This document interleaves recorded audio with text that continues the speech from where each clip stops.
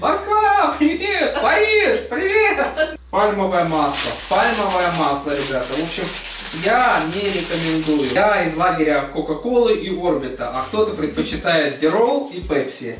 Уж извините, кому кто платит. Блин, без копеек, а в пятерочке цены с копейками. Ленка, А, подними, пожалуйста, мне пол головы отрезала. все нормально, вот. Да. Добрый день! Сегодня у нас что? Мы зашли в пятерочку на обратной дороге вместо перекрестка. Мы зашли в пятерочку.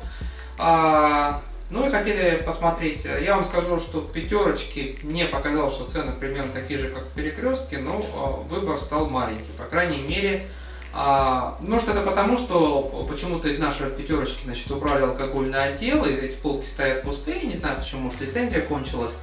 А, и как-то разнообразие в любом случае, оно, конечно, меньше, а, на что-то цены пониже, но а, в отличие от перекрестка, там нету этих распродаж, да, то есть и ценники перечеркнуты. То есть цены они вроде бы как немножко ниже на все, но распродажи, ну вот почему-то, по крайней мере, когда мы сейчас были, ну почти, почти ничего не было на распродаже. Ладно, что мы взяли? А, мы взяли вот такое побаловаться семечко очищенное, очищенное. Но они совсем копейки стоят. По-моему, 12 или 17 рублей. Э, да, 17 рублей стоит. Это так. Вот семечки уже очищенные.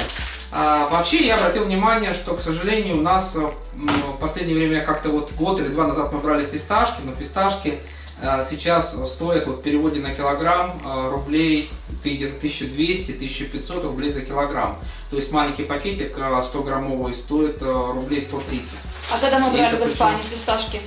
А в Испании мы брали э, за 4 евро, и там, по-моему, было э, то ли 200 грамм, то ли что-то типа того. Намного меньше.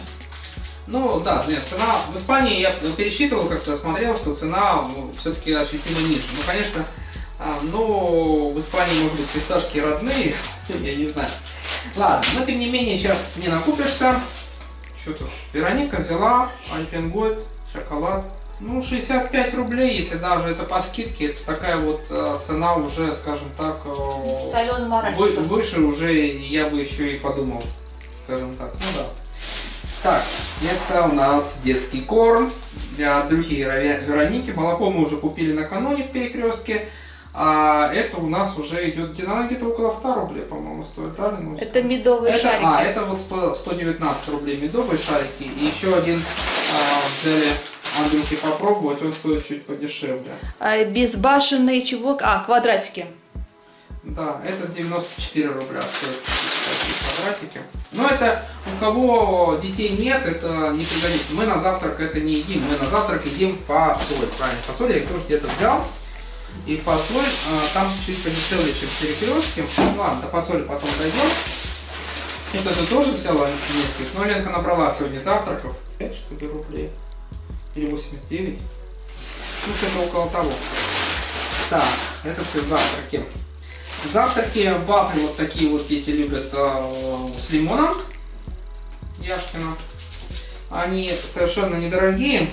М, 50, 53 рубля. Почему-то в пятерочке цены с копейками. Да. Яшкина 53 рубля. А, ну, это так, знаете, побаловаться. Они а, в а, пятерочке стоят дешевле, чем в перекрестке. В пятерочке они стоят 33 рубля, а в перекрестке 45. Так что вот в этом плане я не знаю, почему так. Ну, вот э, нам из всех вкусов, которые там были, там томатный, сырный и вот такой вот больше всего мне вот понравился бужемина с французской горчицей. Ну, она так вот идет э, иногда, даже не знаю, понемножку. Вот, а Ленка любит я, вот, э, допустим, такой вот вообще не ем.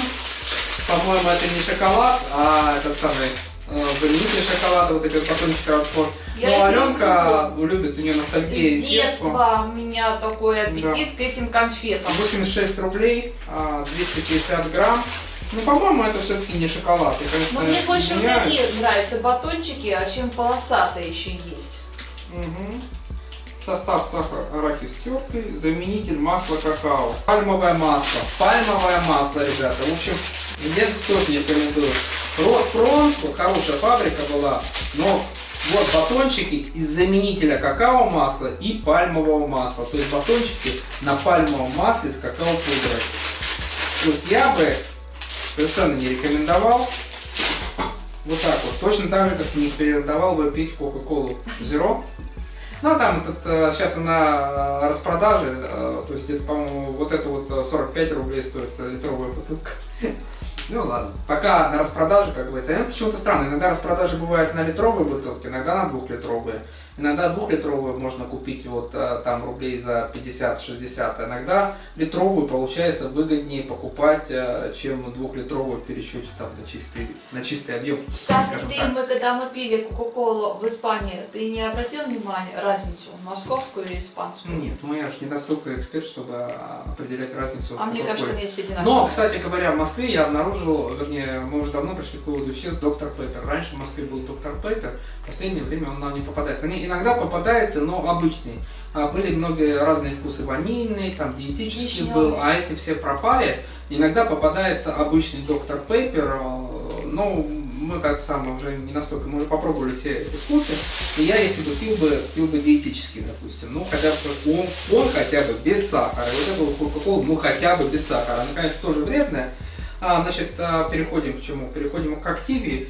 Ну, я вам скажу, да, Активия, конечно, не дешевая. Она стоит 40 рублей в пятерочке и, по-моему, а, то ли 45, то ли 49 даже в перекрестке. Вот это вот по 40 рублей. Ну как? На йогурты уходит много денег.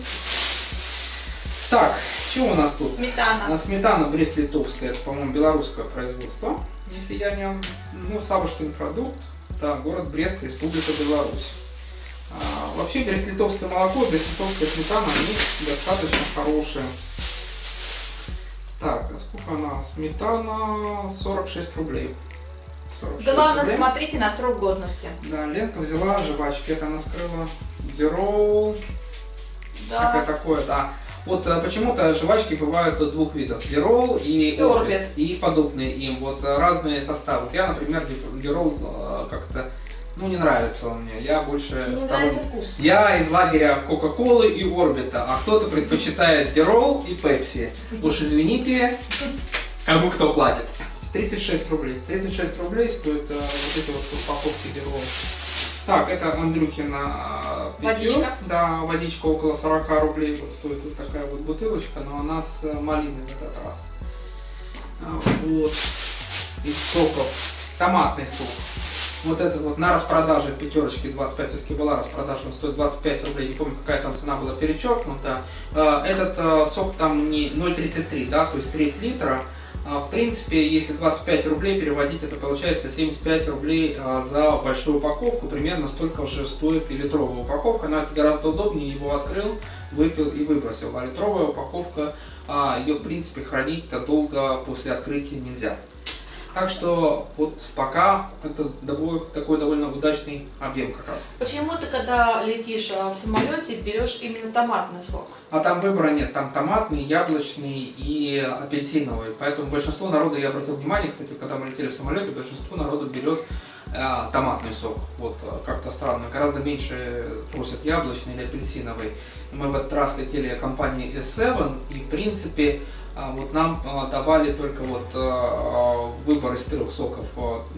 Томатный, яблочный, апельсиновый и вода с газом и без. Ну конечно, кофе, чай. И совершенно полное отсутствие какого-либо алкоголя. А когда мы летели на турецких авиалиниях, а, можно было взять и алкоголь, и пиво, ну я имею в виду там какое-то винишко, и как-то так выбор был побольше, а компания S7, она как-то такая будет без алкоголя. Ну это ладно. Сухой закон.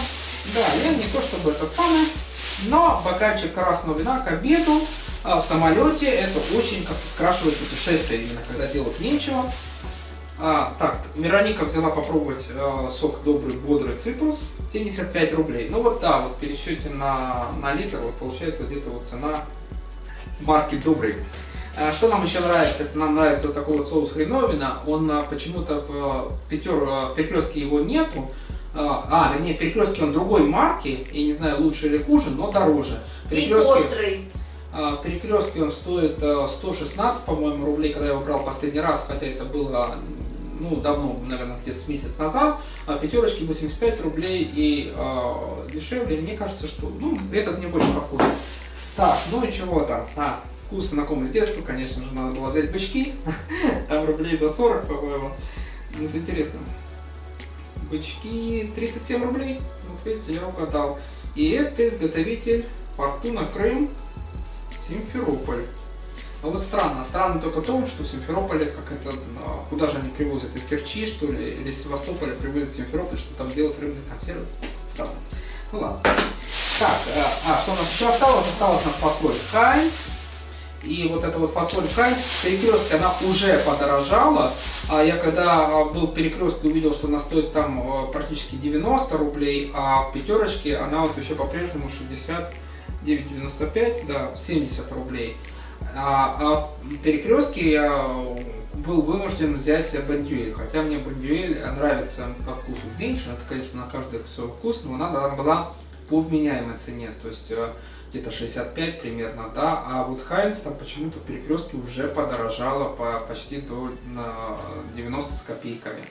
Так что ждем подорожания. Вообще перекрестки а постепенно цены на все растут, растут, растут.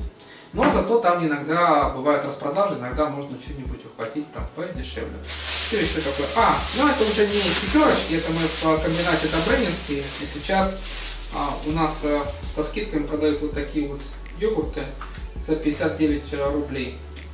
Ну, вот, они, с чем принципе, они? нам нравятся. Ну, я взял а, с клубникой и... Ну, я просто взял два разных. А, Один с клубникой, один с брусникой мне попался. Ну, это как поведет, разница не очень большая. А есть еще натуральные.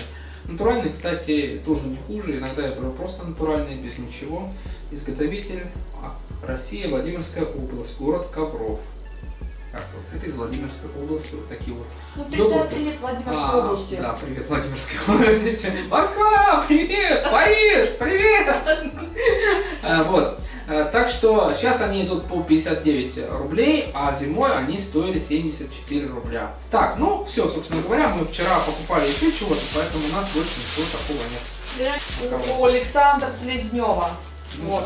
А, Была в магазине, который м, у ко- кондитерский дом Александр Селезнев. И Вероника там купила макарони.